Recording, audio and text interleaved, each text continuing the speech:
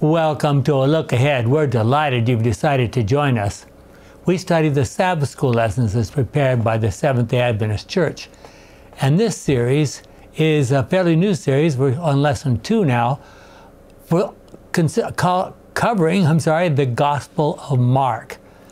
This is the lesson for July 13 of 2024 entitled A Day in the Ministry of Jesus. As usual, we'd like to begin with a word of prayer. Our kind and wonderful Father, we, you sent your Son so long ago, and here in this world, and we are going to have this opportunity during this series of lessons to talk about what He did and why He did it. That will be very, very educational. Guide us in our thoughts together is our prayer in Jesus' name. Amen. Amen.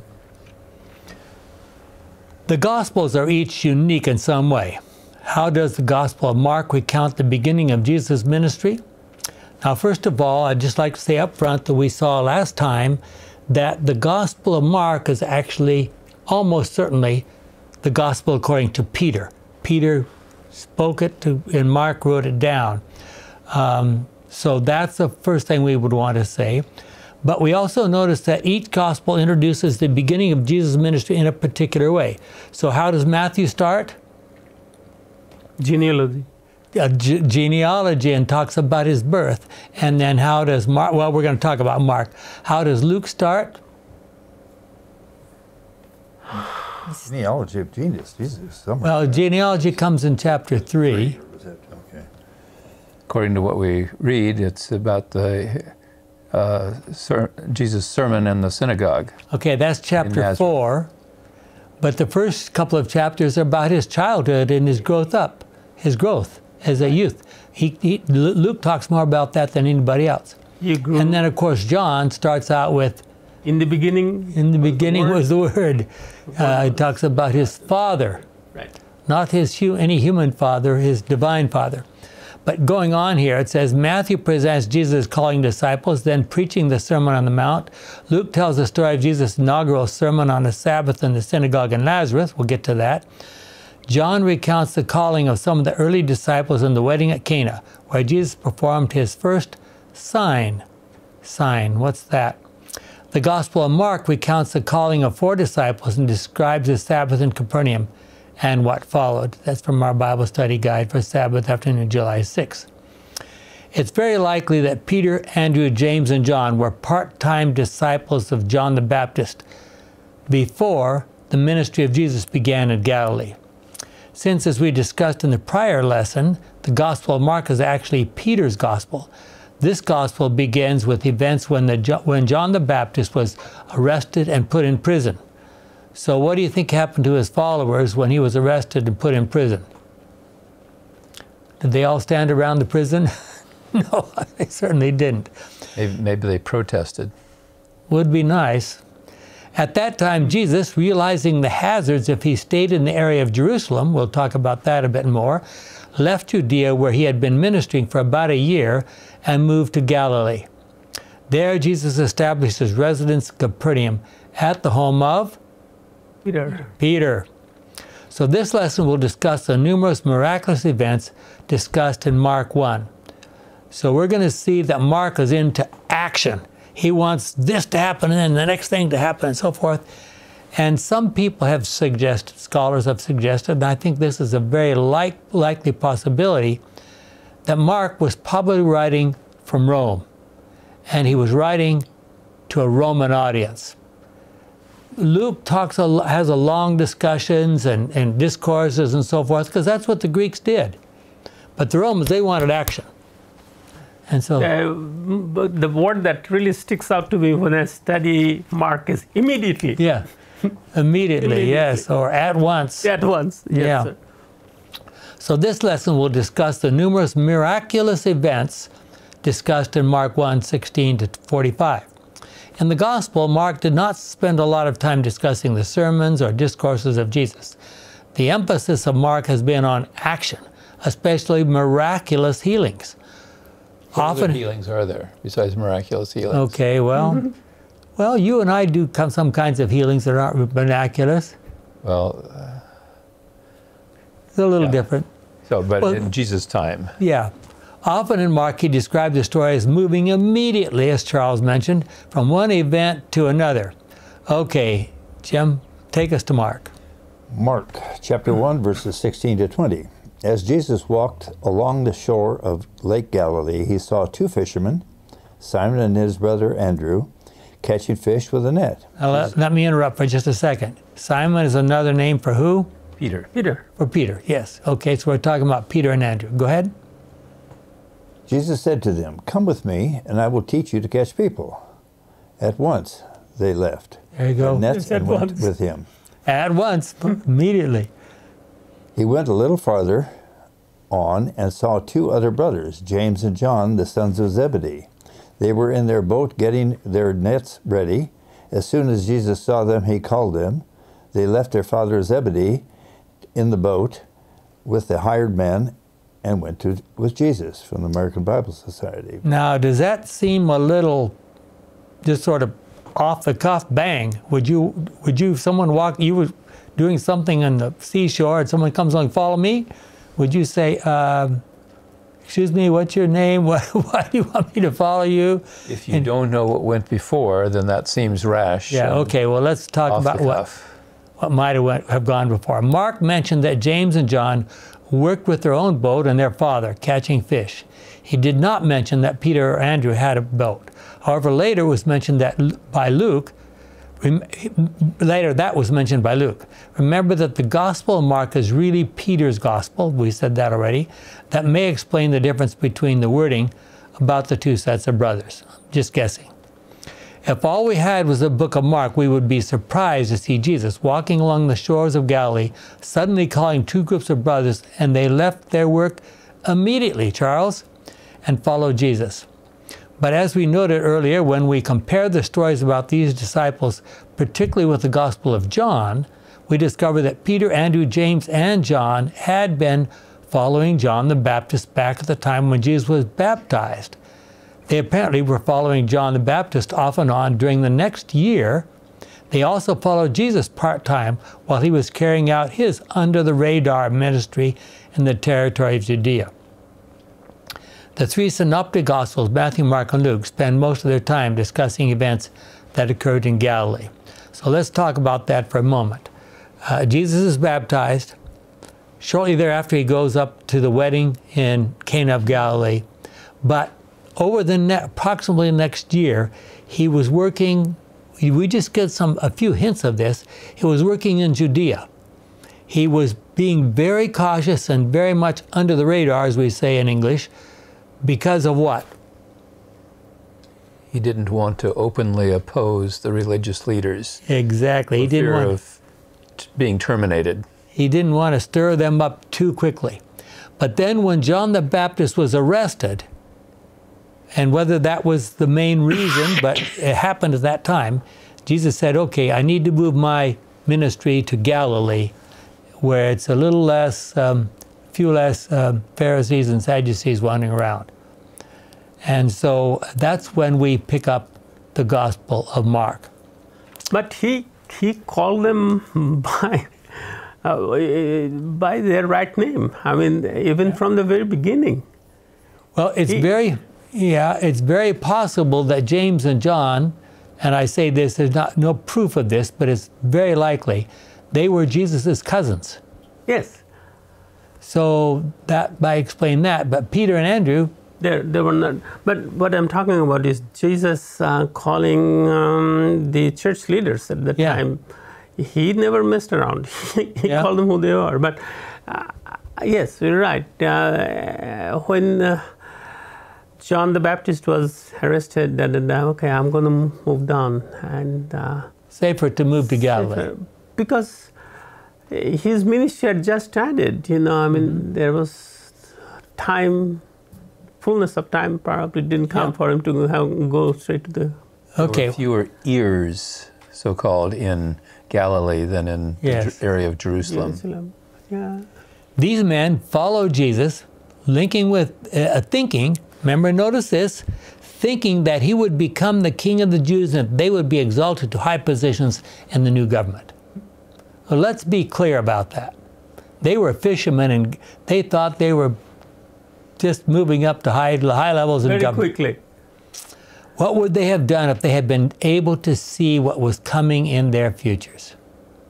As far as we know, all of the disciples except John died martyrs' deaths, unless you would call Judas a martyr's death. I think I think they would still follow him once they realized who he was. Well, that hasn't happened yet. That's right. It uh, almost Okay, Charles, you ready to take yes, on Sir. From the writings of Ellen White, Jesus chose unlearned fishermen because they had not been schooled in the traditions and erroneous customs of their time. Hmm. They were men of n- native uh, ability uh, and they were humble and teachable. Men whom he could educate for his work.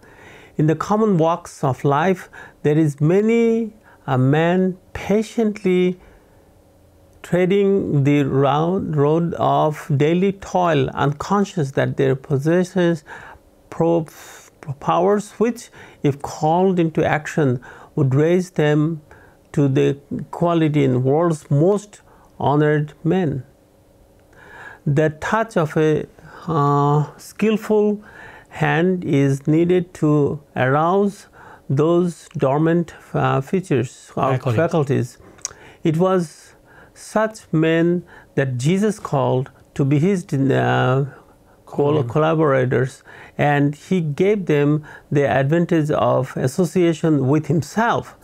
Never had the world's great men such a teacher.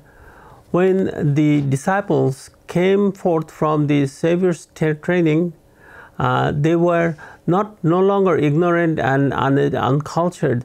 They had become like him in mind and character, and men took knowledge of them that they had been with Jesus. Amen. Beautifully put together, Ellen White. Took knowledge. Desire of Ages 251. Yeah. Beautifully put together. 250 paragraph one. Paragraph 1, yes. Okay, it is unfortunate that we know so little about that first year of ministry by Jesus in the territory of Judea. Apparently, some of his eventual disciples worked with him from time to time. However, the time had come for them to become full time disciples of Jesus. So, what does Jesus do? By comparing John 1 29 through 42 with Mark 1, we discover that the baptism of Jesus occurred in the fall of AD 27, and that the call of the disciples by the sea happened in the spring of AD 29. See the Adventist Bible Commentary, Volume 5, pages 195 and 196 to see all the explanations. We don't have About time. two, two years, Year and a half. Year year and a half. Yeah, year and a half. Looking back at the story recorded by John, try to imagine how Simon Peter felt when his brother Andrew came to him and said, Just imagine this. The Jews have been waiting for the Messiah to come for 400 years with no word. And your brother shows up and says, Oh, we found the Messiah. And you say, uh, Well, imagine the kind of excitement that announcement might have caused, or would it have been more likely to cause doubts? What do you think?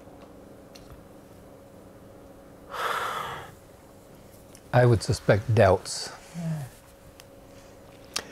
Well, if you, I guess it would depend on what you knew about your brother.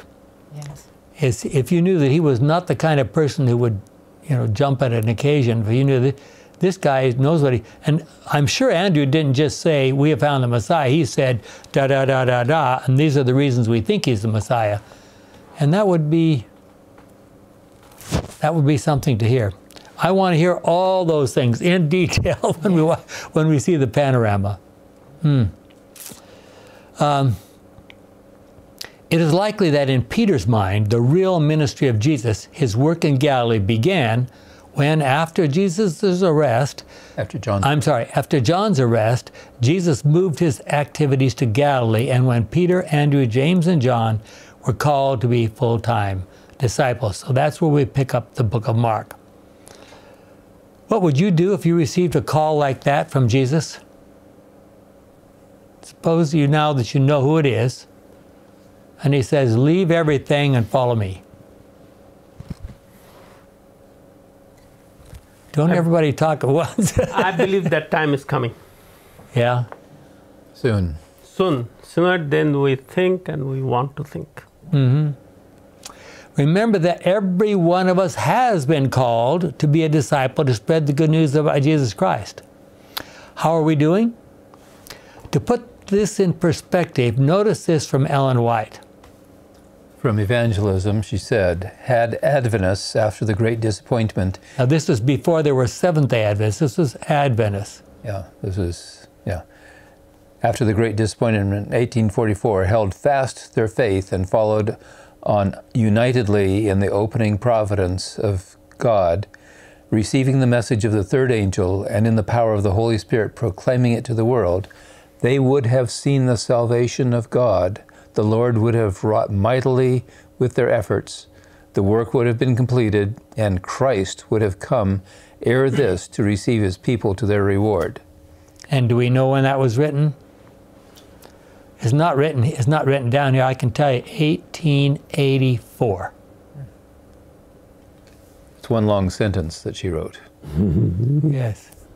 But in the period of doubt and uncertainty that followed, uncertainty that followed the dis- disappointment, many of the Advent believers yielded their faith. Thus, the work was hindered, and the world was left in darkness. Had the whole Adventist body united upon the commandments of God and the faith of Jesus, how widely different would have been our history. Wow. Again, Evangelism 695.3. A very, very challenging short chapter in Evangelism 694 to 697 on the reasons for the delay. Might want to look it up and see and read it. Were there about 100,000 Adventists at the time? Uh, well, no. churches You mean you mean back in 1844? right? The Something something like disappointment. 100,000. so, right, right. But after the disappointment, handful. and then they came up with, well, we need to worship on Sabbath, etc. 50, Probably they were left with four or 5,000. okay, four or 5,000. Yeah, wow. Mark began his story in earnest by telling the story of Jesus in the synagogue in Capernaum when he was approached by a demon possessed individual. Jesus did not get excited or run away. He stood up to the demon possessed man and commanded the demon to leave him. It is very interesting to note that the demon almost immediately recognized who Jesus was. What a contrast with the Jewish religious leaders. Hmm. Are you trying to say that the demons were more perceptive at recognizing Well, God gonna- than the Jewish leaders? We're going to talk about that in just a moment. I think you are saying that. yes. yes. Do you think the demon who possessed that man wanted him to acknowledge who Jesus was? L- Let's be honest here. Let's think about this. How did this demon possessed man know anything about Jesus? Who informed him about Jesus? Well, the guy who was there in the Garden of Eden, Yeah, right? Exactly. Yeah. Well, would would the devil have said anything to this demon possessed man ab- about Jesus? oh, well, who was speaking? Hold on, wait. I, we're gonna we're gonna get into that. You know, as you know, Mark is a very short version, mm-hmm. and there's a lot that's left out. So this man, this demon-possessed man, might have even followed Jesus for some time. I don't know, mm-hmm. obviously, but maybe he trailed around him and then got demon-possessed. Yeah, the thing that makes raises questions about that in my mind is the first time we know about that he meets meets Jesus, he's shouting and carrying on in, in the church. So I think if he had been that kind of character, Jesus would have had some troubles with him in the past earlier. Well, let's see. We're going to find out more about that. Myra. Okay, from Desire of Ages, Mrs. White says Jesus in the synagogue spoke of the kingdom he had come to establish and his mission to set free the captives of Satan. He was interrupted by a shriek of terror. A madman rushed forward from among the people, crying out, Let us alone! What have we done to thee, thou Jesus of Nazareth? Art thou come to destroy us? I know thee, who thou art, and Holy One of God. Wow. So he, he knew who Yeah. Jesus Okay. Go ahead. All was now confusion and alarm. The attention of the people was diverted from Christ, and his words were unheeded. This was Satan's purpose in leading his victim to the synagogue. But I'm, I'm going to interrupt for a second here. So, Jesus is in the synagogue. He's trying to spread the message, he's trying to talk about his mission. And here's this interruption. So, Satan clearly wants to interrupt anything that Jesus is trying to accomplish, right? Okay, let's be clear about that. Go ahead. oh, now where was I? Um, In the middle of but that. Jesus rebuked the demon, saying, Hold thy peace, and come out of him. And when the devil had thrown him into the midst, he came out of him and hurt him not. He who was conquered, who conquered Satan in the wilderness of temptation and was again brought face to face with his enemy, the demon exerted all his power to retain control of his victim. To lose ground here would give Jesus a victory. But the Savior spoke with authority and set the captive free. wow. That's from Desire of Ages, page two. So, and a little bit later, let me just just help you think about this. We're going to come up to it a moment later. Jesus is setting who free? The demon possessed people. He is getting captives out of the dem- devil's control and letting them go free. So keep that in mind when we talk about captives in a little bit. As you might have guessed, the news of what happened in Capernaum that day quickly spread through all of Galilee. Many Christians have some kind of experience in their lives that transform them to become committed Christians. Have you had any life changing experiences? I would love to tell you about my story starting in boarding academy. I had some several life changing experiences. This is an example of something that we see in several places in biblical history. Notice these particularly. Revelation 12. What happens in Revelation 12? The baby is born. Revelation 12. Revelation. Well, 12, yeah, baby's born, but in terms of conflict, the war in heaven. War in heaven. Satan. The is war in cast heaven. Jude 9. What's happening in Jude, verse 9? Uh, also, Satan. See, see? God is Uh, Michael. fighting Michael with up, right. over the body of Moses. Moses, right. Exodus 6 to 9. The plagues of Egypt. That's the plagues of Egypt. Okay? 1 Kings 17 to 19. This one's a little not quite so obvious. Isn't that Elijah at the Elijah on Mount Carmel. Carmel, right. Yes. And Matthew 4 1 to 11, which we've already mentioned, the, the uh, temptations. So, whenever there is a direct conflict, this is the point we want to make.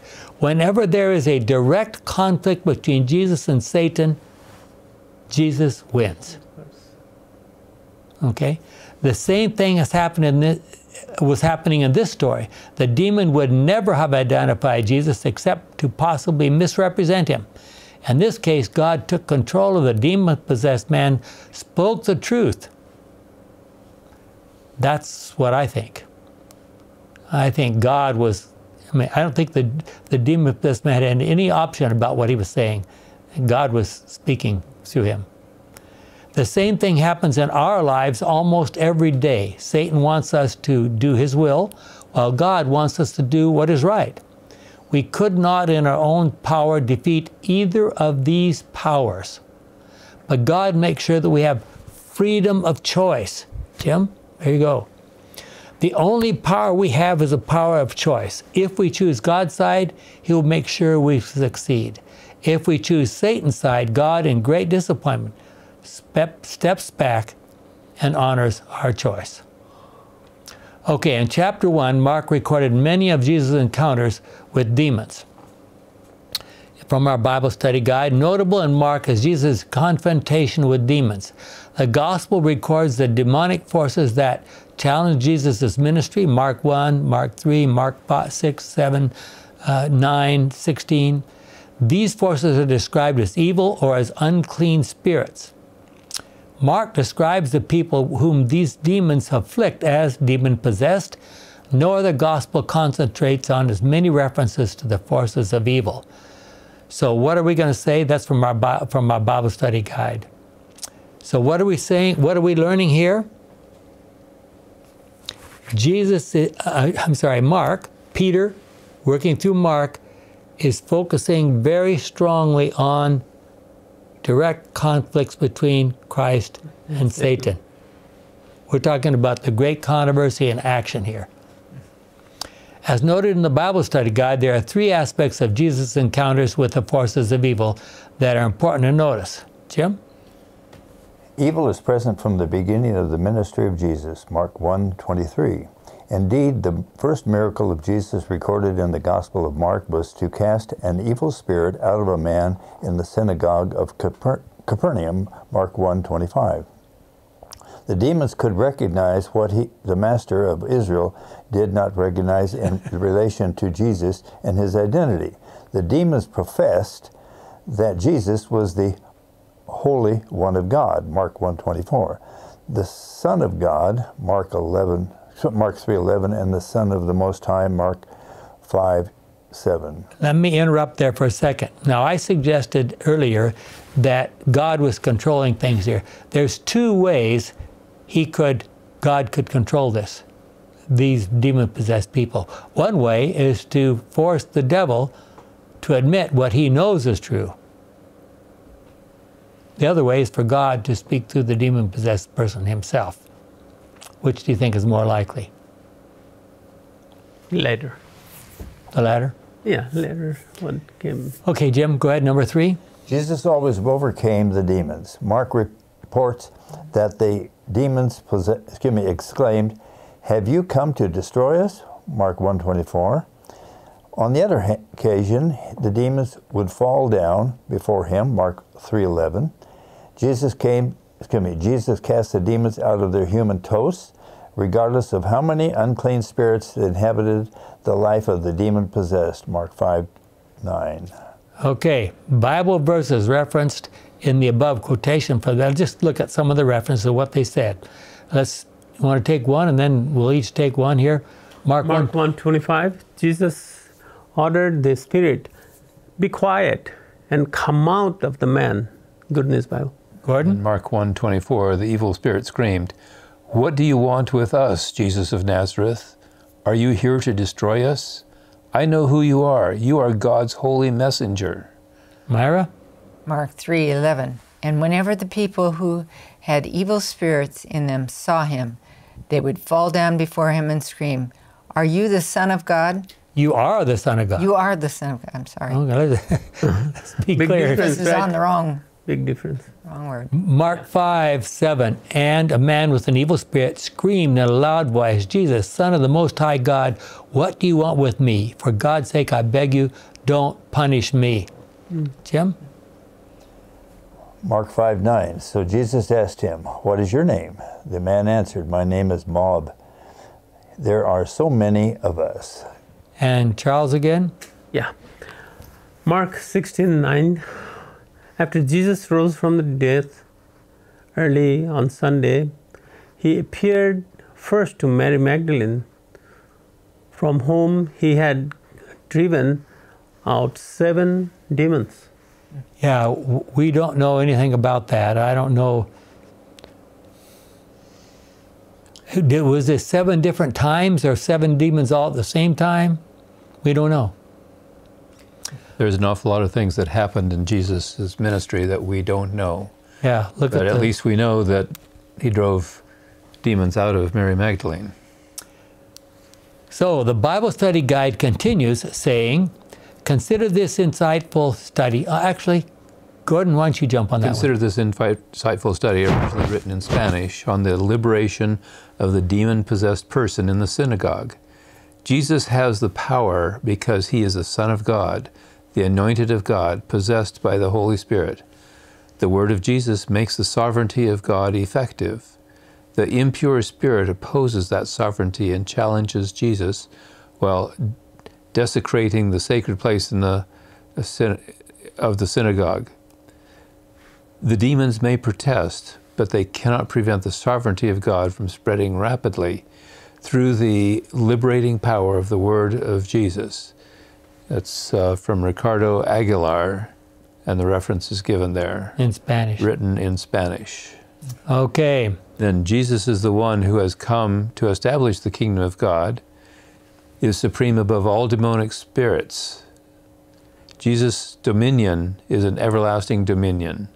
His dominion includes supremacy over earthly powers and evil spiritual forces alike. In the Gospel of Mark, Satan is designated as a defeated enemy from the Teacher's Bible Study Guide. This gentleman, this scholar, believes that uh, the total picture in Mark is that Satan is clearly a defeated enemy. How many, how many, now, now let's talk about how we would have reacted in that situation. How many people in the synagogue that day really believed that Jesus was the Messiah? Here's a demon possessed person that I'm sure they all knew him. I'm sure they all knew him, saying that this is the Messiah. What did they think when this demon possessed man stated that fact? Well, did the brother believe his brother saying, We have found the Messiah. We found the Messiah? Yeah. From the Bible study guide.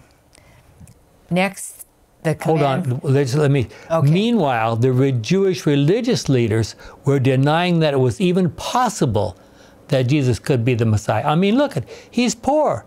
In order to be a Messiah, you have to be rich. You have to be well off. You have to be. This poor guy, no way he could be the Messiah. wow. Yeah. Despised and rejected of men. Isn't that one of mm. the Yep. attributes of the way the the masses looked at Jesus? Okay, Myra. Sorry for the Oh, interruption. no, no.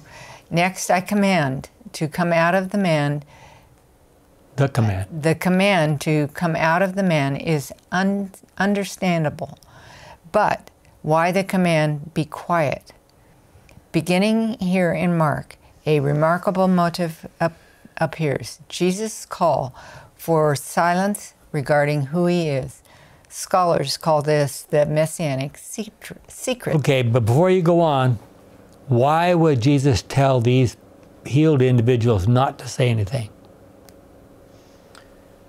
if the word gets around, Jesus is going to be flooded with people coming in, coming for healing, for physical healing, not spiritual healing. Okay, And he's going to come in conflict even quicker with the religious authorities of the day. However, soon he's going to go across the Sea of Galilee and he's going to run into one or two demon possessed people over there. And he casts out their demons, and then what does he tell them? Go, and and preach. tell. Yeah. Go and tell everybody. It was time. Well, Yeah. the difference was that was not in Jewish territory. That was Yes. not in Jerusalem, especially. Yeah. That was out in the, shall we say, the heathen country. Yes. Okay, go ahead. Okay. Jesus' call for silence makes good sense because of the political overtones of the messianic expectations in his time. It was risk it was risky to claim to be the Messiah. Yet, mixed with the calls for silence are the unmistakable revelations of who Jesus is. What will become clear over time is that Jesus' identity cannot be hidden. The truth of who he is becomes the center of the gospel message. People need not only to know who Jesus is, but also to make the, a decision about how they will respond to his coming and what it means for them. Try to imagine yourself in that synagogue on Sabbath morning when the demon was cast out of that man. You can be sure that every person in town knew about it almost immediately. Okay, Mark 1 29 to 34. Jesus and his disciples, including James and John, left the synagogue and went straight to the home of Simon Peter and Andrew. Here's another straight, which means immediately, right? At once. Remember, this is Simon Peter's gospel, is told to Mark and then written by Mark. Simon's mother in law was sick in bed with a fever, and as soon as Jesus arrived, he was told about her. He went to her, took her by the hand, helped her up. The fever left her, and she began to wait on them. The Gospel of Mark is the only gospel that mentions this incident. So, why do you think it's mentioned in Mark? Because it's Peter's gospel. And it It's Peter's, mother. gospel, and this is Peter's mother in law. After the sun had set and, e- and evening had come, people brought to Jesus all the sick and those who had had demons. All the people of the town gathered in front of the houses. And I'm going to interrupt myself for a moment here. In a small town the size of Capernaum, I mean, this is not a huge place. How many demon possessed people were there? It's a whole colony of. I mean, would you like to live in a small town full of demon possessed people? anyway, Jesus healed many who were sick with all kinds of diseases and drove out many demons. He would not let the demons say anything because they knew who he was. Good News Bible. But Jesus can do more than cast out demons. After finishing the service, they proceeded to Peter's house, which was very close to there, uh, close by. There, Jesus encountered Peter's mother-in-law who was sick. Jesus touched her and made her well. She rose up and served them. It was often the case that Jesus healed by touching. He touched especially the people who weren't supposed to be touched. And there's examples, Mark 1 and Mark 5. But there were other times when he merely spoke. Mark 1 again, Mark 3, and Mark 5. It is interesting to note that people began to flock to Peter's house after sunset. This is consistent with the fact that Jesus and his disciples regularly and faithfully kept the Sabbath hours.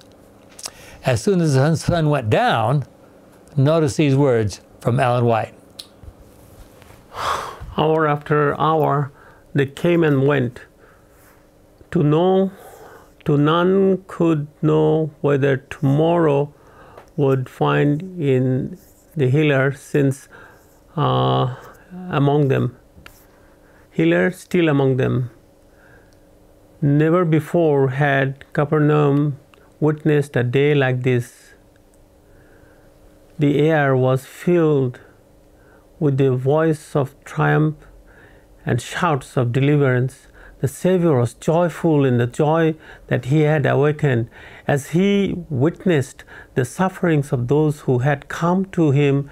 He had stirred with, with His heart. he was stirred, his heart was stirred with sympathy, and he rejoiced in his power to restore them to health and happiness. I believe that the Lord's disciples will do this soon. Yes. Not until the last sufferer, sufferer had been had been relieved, uh, Jesus ceased his work. It was far into the night when the multitude departed, and since the, they settled down upon the home of Simon, the long, exciting day was past, and Jesus sought rest. But while the city was still wrapped in uh, slumber, the Savior, raising up, great, rising up, great, uh, great uh, while before day, went out and departed into the solitary place, and there prayed. Wow. Ellen White. Desire of Ages Yes. 259. By the way, if you get our handouts, uh, the electronic format, and you want to check any of these references, if you uh, double click on those little uh, links that are there, you can Hyperlinks. hyperlinks there that you can uh, go and see it directly from the original source. As you can imagine, the people of Capernaum were very excited to have Jesus there. When he disappeared very early the next morning, as he went out to pray, people went looking for him everywhere.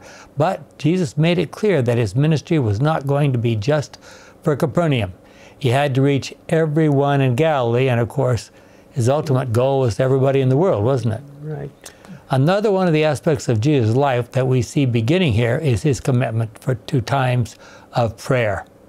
Luke 6:12. At that time Jesus went up a hill to pray and spent the whole night there praying to God. Now I'm going to interrupt there for a second. We'll mention this a little bit later, but what happened the next day after Luke 6:12? He Remember- chose the disciples. He's- he called the disciples. He called the, the, the 12 disciples now, all 12 of them. Go ahead. Same thing in Mark 14:23. After sending the people away, he, that is Jesus, went up a hill by himself to pray. When evening came, Jesus was there alone. And Mark 6:46, after saying goodbye to the people, hmm. he went away to a hill to pray.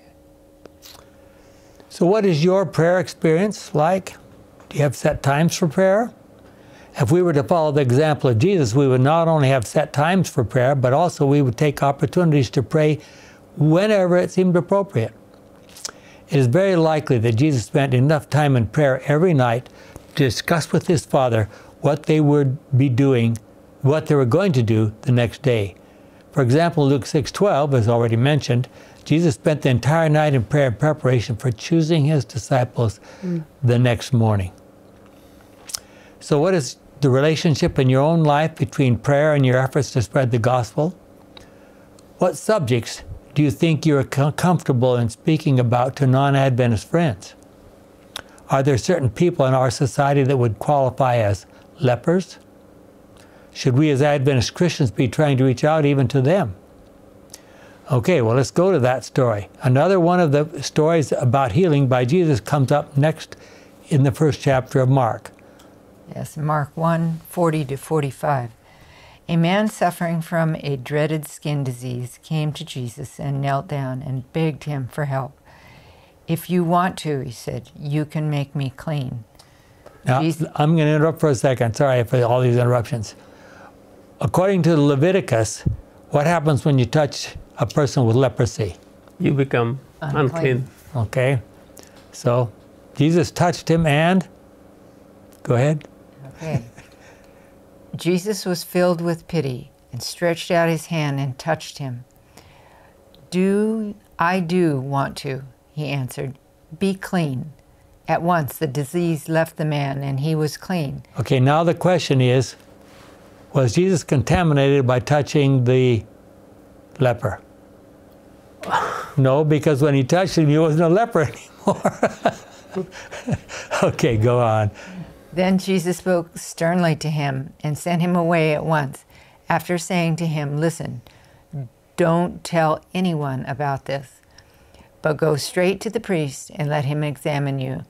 Then, in order to prove to everyone that you are cured, offer a sacrifice that Moses ordered. Okay, now why is that important?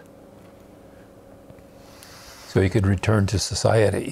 He Yes, was an he had to have a- as a leper. That's right. He had to have official sanction by the priest to say, "You're healed. You're okay now," and you. The, the priest couldn't say that about.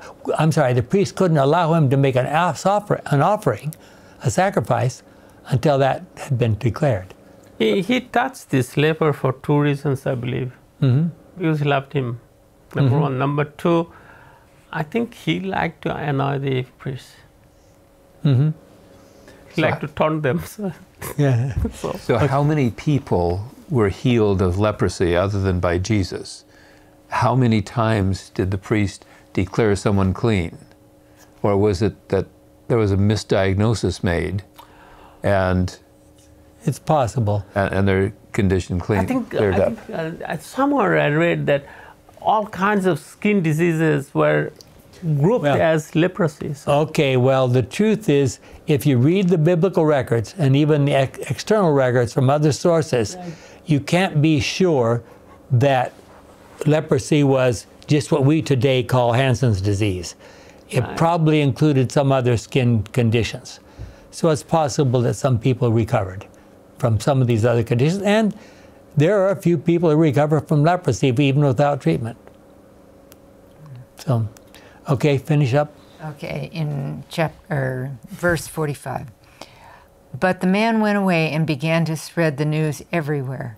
Indeed, he talked so much that Jesus could not go into the town publicly. Instead, he stayed out in lonely places, and people came to him from everywhere. Wow. Jesus instructed the man to go to the priest following the regular procedure for checking for uncleanness. The details of how to recover from uncleanness of various kinds are spelled out in Leviticus 13 to 15. It's a lot of detail, but it's pretty clear. Jesus told the man to be quiet about his healing. However, the man told everyone. Are there some things that we need to be aware of and be quiet about when we are trying to spread the gospel? Ellen White has said quite clearly that we shouldn't immediately jump into our, some of our more controversial, um, you know, doctrines immediately. We should talk about the love of Jesus and so forth. What picture of Jesus does uh, Mark 1 present? I'm sorry. Yeah, I'm sorry. What picture of Jesus does Mark 1 present? Jesus has authority to call disciples, and they respond. He is holy in contrast to unclean spirits under Satan. A great battle is going on between good and evil, and Jesus has more power than the demons. Jesus has compassion for sick people and helps them, touching them when perhaps no one else would, from our Bible study guide. As we view Jesus performing some amazing miracles, we need to ask the question Did Jesus perform miracles in his own power, or did he call for the power of the Holy Spirit or the Father to perform all those miracles? What difference would it make? No difference? Late, in some later lessons that I've already worked on a little bit, we're going to find out where she makes some specific statements about that. So we'll wait for that. Already in Mark 1, we've discussed something of Jesus' ministry in partnership with the Father, beginning in Capernaum and spreading to all of Galilee. We've talked about his prayer life, his authority, and some of his encounters with demons, and also the results. As we've already suggested, the gospel, meaning good news, is embodied in the scriptures. Okay, now I'm going to uh, suggest something here.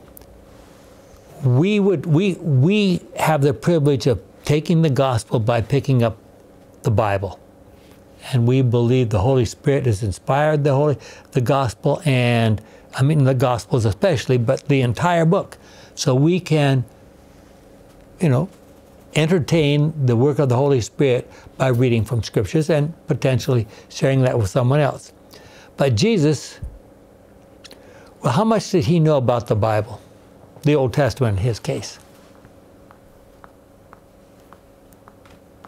We know that people in his day memorized the entire Old Testament in Hebrew. Paul probably did. But Jesus wouldn't, I mean, Jesus was not a, his family wasn't one of those people who had access to all those things. Now, obviously, he, he was, he was versed in Scripture. Was he versed in Scripture because his father instructed him? His That's- mother also instructed. And his mother also instructed him. But did she have access to many of the scrolls? Do you think a young mother who had at least six other children to care for would have a lot of time to go to the to the temple and, or to the I'm sorry, to probably to the synagogue and borrow a scroll so she could I, I'm I'm trying to understand to myself how how all this happened. Or did both Jesus and Mary have good memories? And when the scripture was read in the synagogue or in the yeah, mm-hmm. in the synagogue, Yeah. they maybe they remembered it. Did They had Jesus good memories, good verbal memories. And now I'm going to ask a question that's a real challenge in my mind. Did Jesus remember anything from his pre incarnation?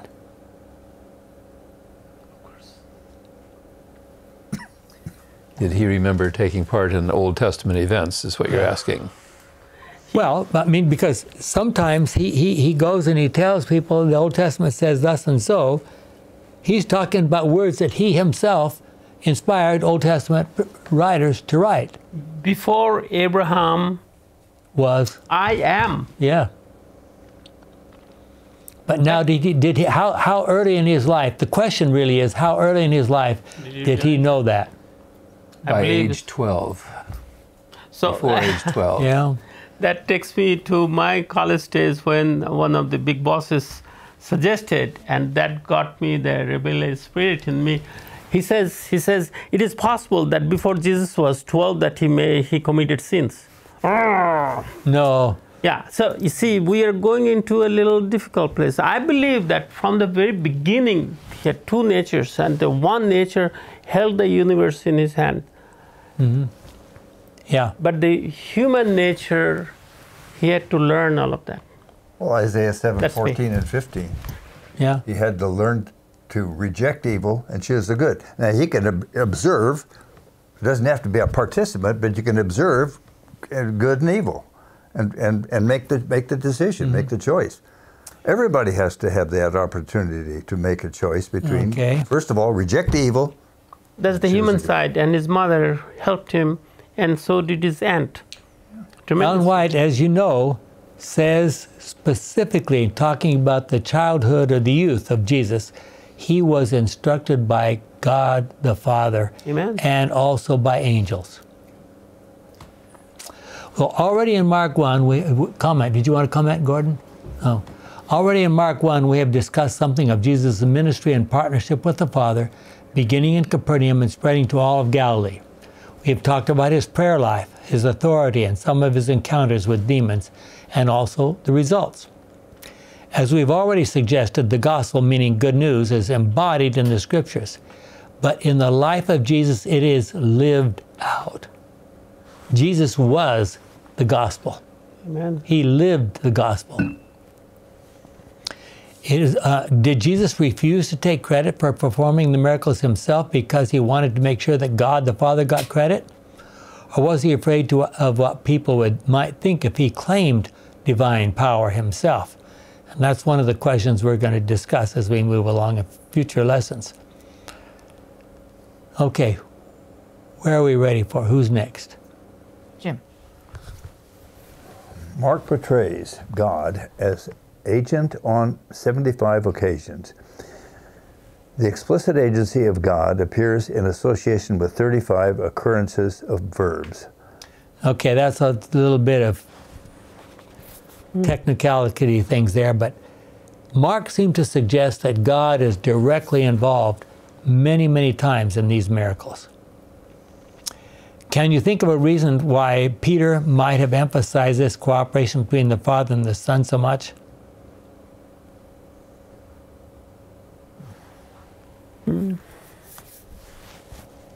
We, we're going to have some challenging questions in this series of lessons. We've already suggested that he's going to focus particularly on conflicts between God and Satan, right? Is that a reason? Is that a possible reason why he would more likely represent God the Father being involved? You might back to uh, you could that what we were discussing a little bit earlier there. Yeah. Uh, John 10:38. But if ye do, though ye believe not me, believe the works, that ye may know and believe that the Father is in me and I in him.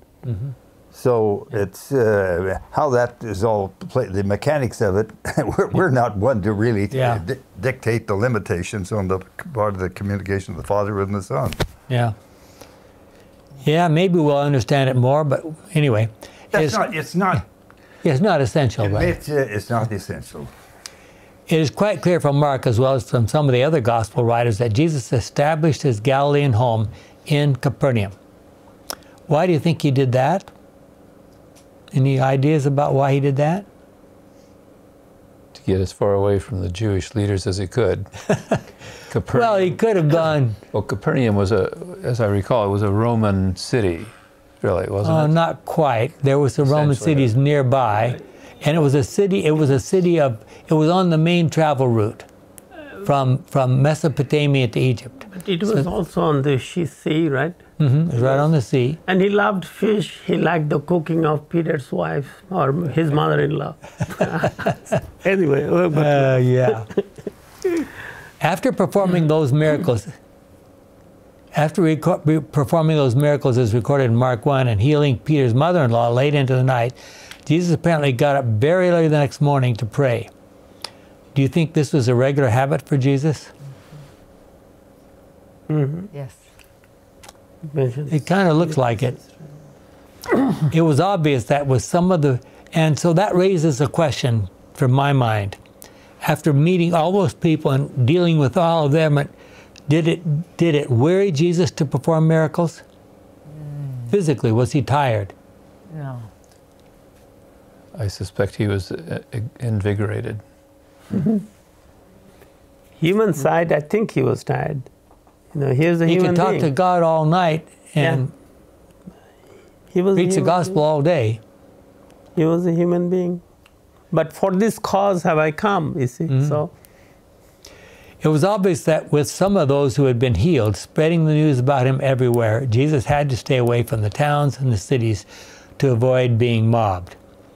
Mark noticed specifically that Jesus planned some of his moves, following what he learned about what had happened to John the Baptist. So we've already mentioned that Jesus moved his ministry from Judea to Galilee at what point? What happened to John? When he was thrown in the prison and When. John John the Baptist was baptized, Baptist was imprisoned. Right. Jesus, um, uh, when John the Baptist was beheaded and John's disciples came to Jesus to tell him what had happened, Jesus moved his ministry out of Jewish territory, even Galilee now, completely and into Gentile territory for the next six months. Why do you think that was? Preservation. Yes, but it actually turns out that that was a very special time for him to focus on, because he knows he's getting closer and closer to crucifixion. This was his special time to instruct his disciples. Okay. Um, who's next there? Me. Yeah. Jesus is portrayed in Mark's gospel as performing one action after another one. We have one minute.